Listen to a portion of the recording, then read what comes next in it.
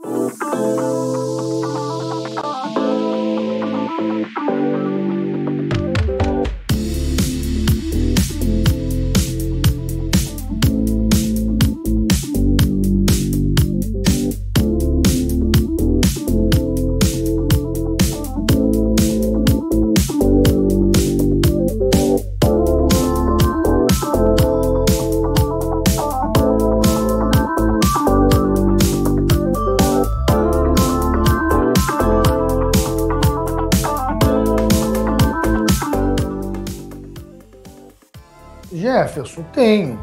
Né? Futebol se faz com três pilares: financeiro, psicológico e físico.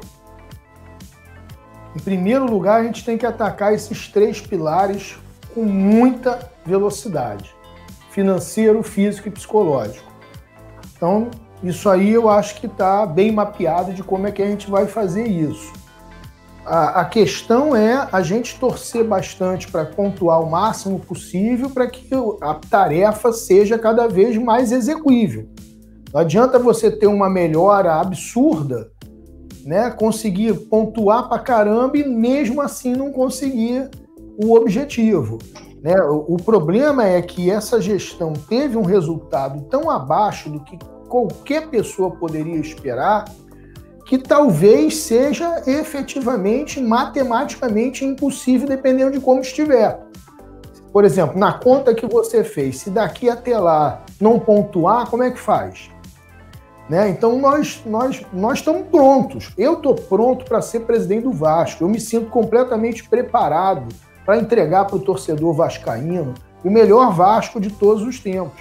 Não tem nenhuma dúvida de que aquilo que eu estudei, de que aquilo que eu procurei, de que aquilo que eu investiguei, de que aquilo que eu pesquisei é capaz de fazer esse sistema podre que está no Vasco ruir e a gente começar um Vasco de outra forma. Porque hoje eu acredito que ninguém tem dúvida nenhuma que o Vasco precisa de uma mudança. O Vasco precisa de mudança. Vocês veem que as pessoas se alternam na presidência do Vasco e o Vasco continua o mesmo. O que, que isso significa claramente? É de que a questão não são as pessoas que estão exercendo a presidência. A questão é que existe um sistema no Vasco que, independentemente de quem seja o presidente, é esse sistema que está governando.